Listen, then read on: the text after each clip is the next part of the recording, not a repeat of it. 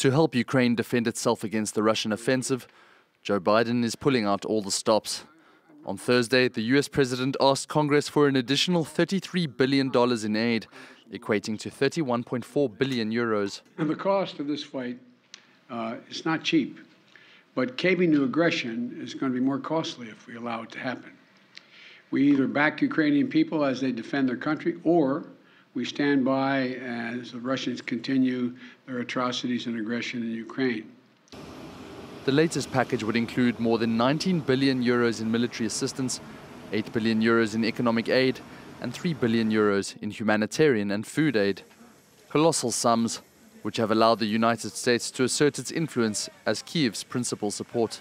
This is a very important step by the United States and I'm grateful to the American people and personally to President Biden for it. I hope that Congress will quickly support this request to help our state.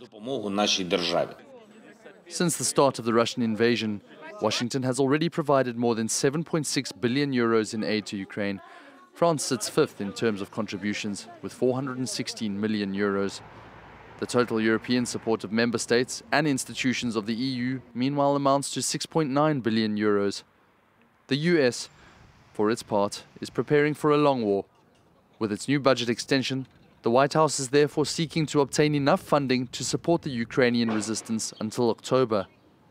But the bill could stumble in Congress over disagreements between Democrats and Republicans. The Democratic Party want to include an increase in the budget aimed at tackling COVID 19, a measure that the Republicans refuse.